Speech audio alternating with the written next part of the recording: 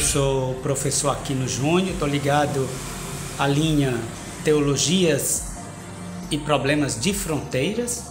Meu projeto de pesquisa se intitula Teologia e Libertação. É um intento de, na tradição teológica latino-americana, explicitar e desenvolver o caráter ou a dimensão libertadora da teologia em suas várias áreas, epistemologia, sistemática, pastoral, social e em diálogo com os novos desenvolvimentos da reflexão teológica com os desafios dos tempos atuais.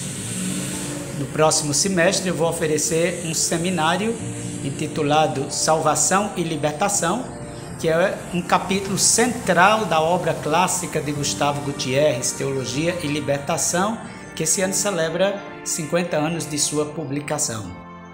E esse é um problema central na teologia da libertação, porque se trata do esforço de explicitar o caráter ou a dimensão salvífica dos processos de libertação. Isso marcou toda a tradição teológica latino-americana e esse é o tema do nosso seminário do segundo semestre de 2021.